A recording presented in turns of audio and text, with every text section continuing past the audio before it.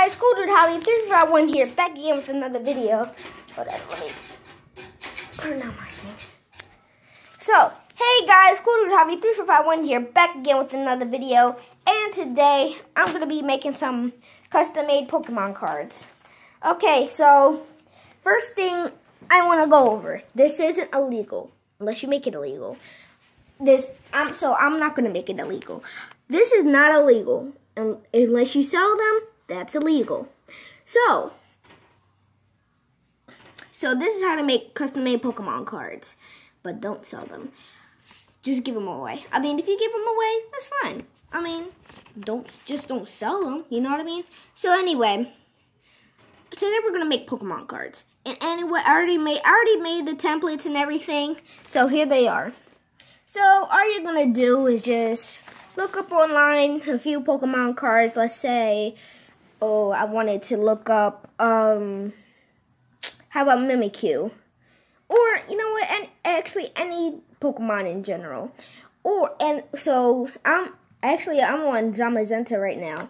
Um, Zamazenta, um, a secret rare. So anyway, you just look up a secret rare, Zamazenta, and then you get a few pictures. Find the one that you want. I found i found this one right here because i mean it was the the only closest one to actually looking cool.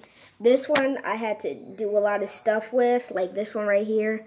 So i had to do a lot of stuff with that one so and that wasn't fun. So i just stuck with um the one that was closest to it. So anyway.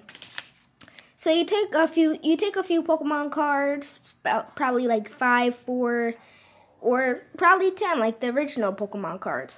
And then you just um and then you just uh go onto your uh your notepad or paint if you have a computer, preferably a computer, and then just paste them on there.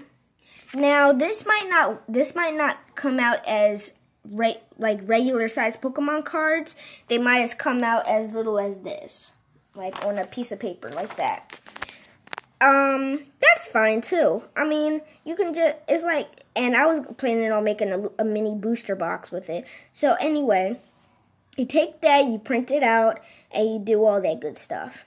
Then uh, to dry it, I I will recommend I will recommend this.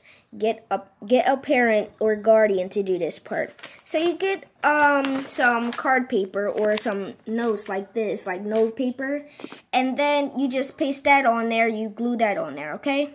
Then you're gonna get you're gonna get this is the part where you need a parent. You're gonna you're gonna ask them to get an iron, and then once you paste that those cards stock on there or whatever you have, you just paste it on there. Okay? I mean, you just tell them to iron it so it can dry faster. So then, once you're done, you just cut them. You just cut them out. I'm going to cut this secret rare one right here. Um, you just cut it out and then you're done. But you have to you have to take all the regular backs of the Pokemon cards and paste them onto the backs of here. So cut them separately and then paste them on the back. And when and once you're done, you're done. You have many Pokemon cards. So guys, I hope you like this video. Please share, like, and subscribe, and I'll see you guys later. Bye.